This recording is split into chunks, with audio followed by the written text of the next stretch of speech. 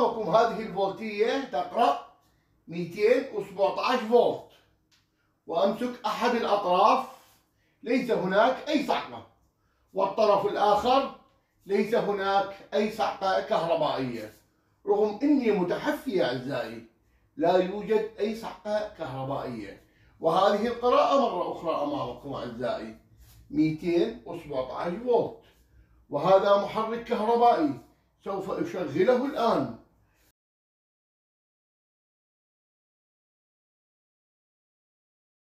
المهم عزيزي أن لا نمسك الطرفين معا لأننا في هذه الحالة سوف نصعق. والآن قد عمل الجهاز.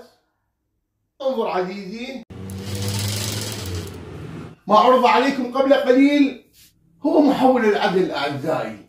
وقبل أن نتكلم عن محول العدل وتصميم محول العدل. لنتكلم قليلا عن استعمالات محول العدل. أعزائي في معظم الفنادق العالمية وكذلك في معظم القصور الرئاسية وكذلك في معظم قصور الأثرياء يغذى هذا المنزل أو الفندق بمحول عزل لتكون كل نقطة كهرباء في هذا المنزل أو الفندق غير قابلة للسحب الكهربائي أو أنها لا تسحب بالكهرباء من يستعملها؟ إذا حدث هناك خلل ما. أما في منازلنا نحن فنستخدم محول العزل في الحمامات. وفي تغذية السخان الكهربائي مثلا أو المبردة مثلا. ولهذا في درسنا سوف نصمم محول عدل لمبردة واحدة أو محول عدل ممكن أن يستخدم لسخان كهربائي وبنفس الوقت يمكن أن يستخدم لمجموعة مبردات. أعزائي وأنا الآن لا أتكلم عن قاطع الدورة الإيثلكي الذي يوضع في صندوق قواطع الدورة للمنزل للفندق للمنشأة الصناعية المعينة. أنا لا أتكلم عن هذا أتكلم عن محولة تغذي جهاز ما إذا ما حصل عطب في هذا الجهاز وأصبح موصل للكهرباء فإن هذا الجهاز لن يسحق أحد. أعزائي ولنبدأ بالتصميم ولنفرض أن لدينا سخان ماء كهربائي قدرته 3000 واط. إذا أعزائي 3000 واط تقسيم 220 فولت ويساوي 13.6 أمبير. أمبيرية هذا السخان. أعزائي لا أترك أمر. قد تعودنا عليه. أن نعطي معامل الأمان. فلهذا سوف أعتبر أمبيرية هذا السخان الكهربائي 16 أمبير. أعطي معامل أمان. إذا يا أعزائي محول العدل لدينا قدرتها 3520 فولت أمبير. وإن الدخول 16 أمبير. 220 فولت وكذلك الخروج بنفس المواصفات 16 أمبير 220 فولت. أعزائي والقانون لاستخراج مساحة القلب الحديدي سهل جدا وبسيط أيضا. هذا هو أعزائي الأمبير يساوي تحت الجذر الباور وكل موبايل مهما كان بسيط فيه حاسبة. والاستخدام أمامكم أيضا سهل جدا.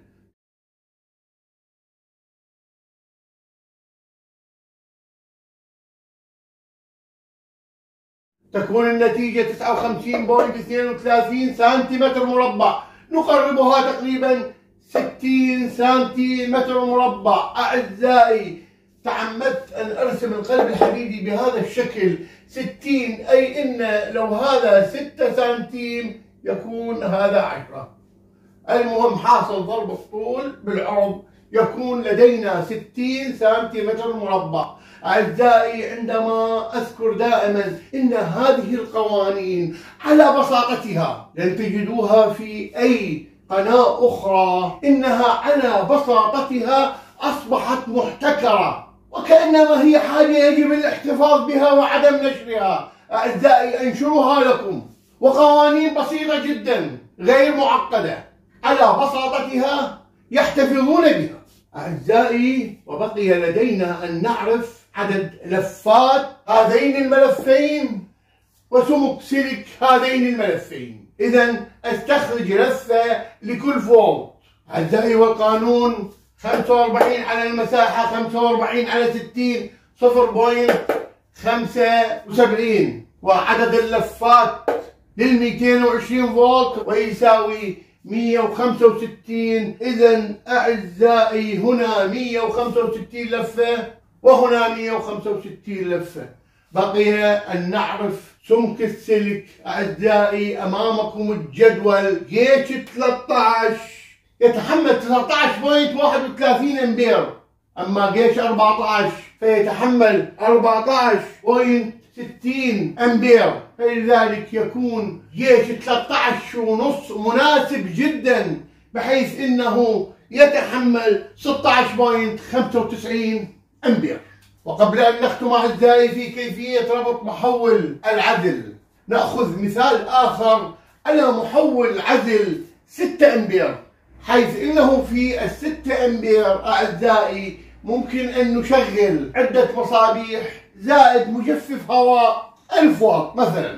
ممكن أيضا بهذا المحول محول العزل 6 امبير تشغيل ثلاث مبردات هواء اعزائي 2.5 متر مكعب. فال 6 أمبير ب 220 فولت أي إن القدرة 1320 واط ومن خلال هذا القانون اعزائي البسيط ممكن أن نعلم أن مساحة القلب الحديدي 36.33 سنتيمتر مربع أي 37 سنتيمتر مربع. والأنون يساوي 1.22% وعدد لفات الرئيسي وعدد لفات الثانوي 269 لفة. أما قياس سلك الرئيسي وقياس سلك الثانوي ف 16 ونص. أعزائي بقي لدينا أن نتكلم عن ربط محول العدل. الآن إن لديك سخان كهربائي مربوط على مصدر الكهرباء وتريد أن تضع له محولة عزل أعزائي وهذه محولة العزل بكل بساطة أعزائي تختار أي طرفين ليس هناك تحديد بين الحار والبارد. توصل المصدر إلى محول العزل ثم من محول العزل إلى السخان الكهربائي. بهذه الحالة السخان الكهربائي حتى إذا حصل به عطب ما وأصبح موصل للكهرباء فإنه لا يسحق أحد. والسبب في ذلك أعزائي الحار والبارد الآتي من المصدر. إن البارد أصلا في المصدر وفي كل دول العالم يؤرث مع الأرض. لأنه مؤرث مع الأرض فإننا أصبحنا القطب البارد القطب السالب. ونمسك الحار سوف نصعق لأنه سوف تمر الدائرة الكهربائية بنا. أما في محول العزل أعزائي فإن بارد الرئيسي مؤرض بالأرض صحيح. ولكن الملف الثانوي الذي نغذي من خلاله غير مؤرض بالأرض أعزائي. والقطبان حتى إذا مسكت أي قطب منهما فإنه لن تكون هناك دورة تمر من خلال جسمك. إلا إذا مسكت القطبين معا سوف تصعد. فلذلك أعزائي وكما شاهدتم في بداية هذا الدرس عندما مسكت أي قطب من القطبان لن أصعد. فهذا السبب أعزائي أن الملف الثانوي لم يربط أحد أطرافه بالأرض لم يعرض بالأرض أعزائي.